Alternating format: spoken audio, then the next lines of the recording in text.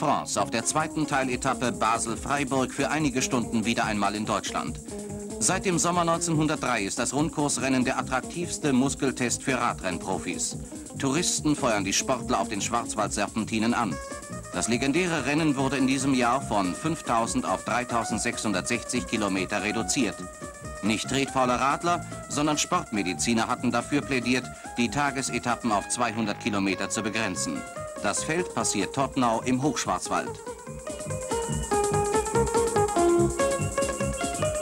Die Tour 71 glänzt nicht durch Stars. Die Asse schwänzen. Alle haben Angst vor Eddie Merckx, dem Superfavoriten, Gewinner der beiden letzten Tours und schon am ersten Tag wieder Spitzenreiter. Sieger der zweiten Teiletappe im Mösle-Stadion von Freiburg, Gerben Karstens aus Holland. Rolf Wolfsohl erreicht...